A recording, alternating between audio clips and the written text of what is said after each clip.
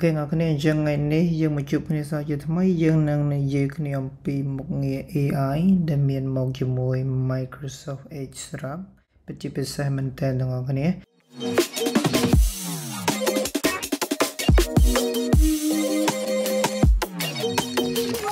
ចាប់ពីខែ4មកតាំងពីខែ4មកឆ្នាំ2023នេះគឺ Microsoft បានបញ្ចូលនៅមុខងារ AI សម្រាប់ chat ផងសម្រាប់ឲ្យយើងធ្វើការងារជួយសម្រួលការងារយើងបានច្រើនមែនទែនជាមួយ Microsoft Edge យើងនេះអាចប្រើ Microsoft Edge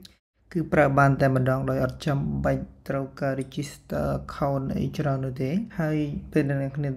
ប្រើគឺអាចប្រើនៅលើ Mac ក៏បាននៅលើ Windows ក៏បានអត់បញ្ហាទេ ទាំងដំបូងអ្នកគ្នា download ទៅ install ទៅអូខេ search Google ក៏បាន download ពី Google ក៏បាន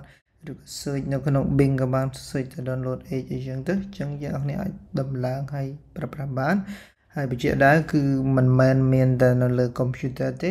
អ្នកគ្នាអាចប្រើបាននៅលើទូរស័ព្ទបានដែរដូចក្នុងរូបបែបនេះអញ្ចឹងគឺយើងអាចប្រើបាននៅទូរស័ព្ទបានផងដែរអូខេ មកឥឡូវដើម្បីប្រើមុខងារ Bing Chat ដែលយើងហៅថា Bing Chat ឬក៏យើងអាចថាមុខងារ AI របស់ Microsoft ហ្នឹងគឺអ្នកគ្នាអាច direct នៅក្នុង search នឹងតែម្ដងគឺអាចចុច chat នឹងមកអ្នកគ្នាអាចធ្វើការ chat បានជាមួយ AI ផ្ទាល់របស់ Microsoft តែម្ដងអូខេយើងចុច continue មកដោយសារខ្ញុំថ្មីអូខេអញ្ចឹងយើង continue មួយមកអញ្ចឹងយើងនឹងអាចចាប់ផ្ដើមប្រើប្រាស់មុខងាររបស់ Microsoft នឹងបានគ្នាអាចសួរអីក៏បានដែរគឺ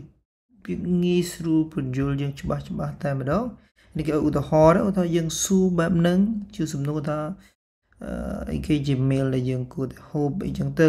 ឬក៏អីផ្សេងផ្សេងចឹងណាឬក៏ top 3 new topic មួយសិនណាអូខេទៅវិញអាចចុចបានលោកថា what are top 3 things to upskill as IT expert នេះឧទាហរណ៍ខ្ញុំសួរថាមាន រឿងអី3សំខាន់ដែលយើងអាចធ្វើការ upgrade skill របស់យើងជា IT expert អញ្ចឹងយើង tick មួយយើងអាចសួរជាដោយប្រើ microphone ក៏បានដែលពិសេសមែនទែនបងប្អូនអូខេអញ្ចឹងខ្ញុំបញ្ជាក់ថាចម្លើយរបស់វាគឺ accurate គាត់បើដែរមានន័យថាយើងអាចយកមកប្រើប្រាស់ដើម្បីរៀនសូត្រហើយយើងអាចសួរសំណួរអីក៏បានដែរណាហ្នឹងគឺបញ្ជាក់ដែរគឺវា more professional វាបែបចម្លើយវាបែបអាជីពល្អដែរណាអញ្ចឹងអានេះគាត់បញ្ជាក់ប៉ុណ្ណឹងនឹង chart មុខនេះ chart ហើយទូទៅអ្នកនរអាចចូលមកក្នុង Bing chart នឹងតែម្ដងអាចវាយ chart bing.com ចឹងក៏បានអូខេចឹងវាចូលទៅដល់កន្លែង chart ហ្នឹងអ្នកនរគ្នាអាចធ្វើការចុចនៅលើ logo នៅខាងលើនៅតែម្ដងអូខេចឹងចុចអាហ្នឹងមកវានឹងបើកផ្ទាំងតូចទាំងមួយហើយយើងឃើញថានៅក្នុង chart គឺវាអាចឲ្យយើងជ្រើសរើសដែរចម្លើយយើងចង់បានបែបណា បែប creative មានន័យថាវាច្នៃប្រឌិតឬក៏បែបធម្មតាឬក៏អាចថាច្បាស់លាស់ឲ្យចម្លើយវាយកមកឲ្យយើងច្បាស់លាស់តែម្ដងអញ្ចឹងក៏បានដែរឥឡូវឧទាហរណ៍ថាយើងចង់និយាយថាអូយើងអត់ដឹងថា present វាអីទេហើយនៅថ្ងៃស្អែកទាក់ទងនឹង Microsoft Excel ឧទាហរណ៍យើងអាចថា top 10 thing to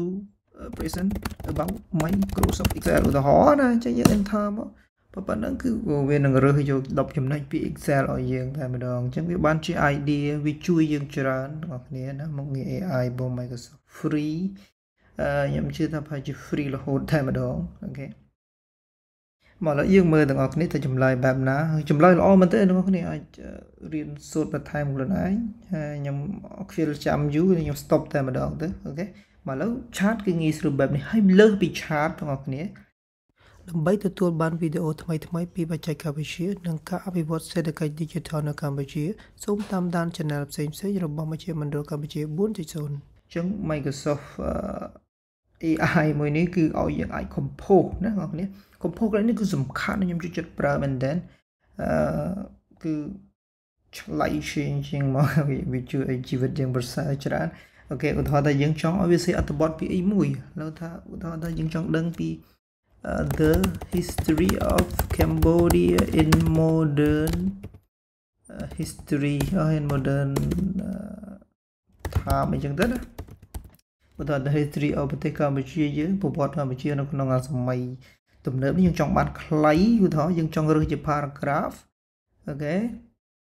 ហើយបែបជា professional ឬក៏បែបនេះយើងអាចរើស tone រើសជា mood បានទៀតល្អមែនទែនចុច generate ពឹបមក ចឹងចម្លើយមកគឺយើងអាចយកទៅកែច្នៃតិចតួចអាចប្រើក្រាប្រើប្រាស់បានតែម្ដងអូខេអ្នកនេះអាចសាកល្បងមើលទៅអានមើលទៅហើយយើងអាចឲ្យវា rewrite sentence នឹងបែបណាទៀតក៏បានដែរយើងចង់បន្ថែមចំណុចណាបន្ថែមបានទៀតអញ្ចឹងណាហើយក្រៅពីនេះយើងក៏អាចសរសេរ mail បានដែរឥឡូវខ្ញុំឧទាហរណ៍ខ្ញុំចង់សរសេរ mail ណា email to request leave uh, from my team lead ឧទាហរណ៍យើងចង់ request mail ទៅកាន់មេយើងអីចឹងទៅយើងអាចជ្រើស email មកហើយយើងយកបែបធម្មតាហើយ sort ចឹងទៅវា generate មកចឹងណាចឹងយើងនឹងឃើញថាវាជួយទៅ save file ឲ្យយើងបានទៀតចឹងណាOK ហើយល្អមែនទែនយើងអាចយកជាគំរូយើងរៀនសូត្រពីរបៀបនឹងអាចយកទៅប្រើការនៅកន្លែងការងារតែម្ដងក៏បានដែរ OK វីដេអូនេះមានតែប៉ុណ្ណឹងសង្ឃឹមអ្នកនឹងចូលចិត្តហើយអាចសាកល្បងប្រើ Microsoft Edge ទៅ OK ជួបគ្នានៅវីដេអូក្រោយទៀត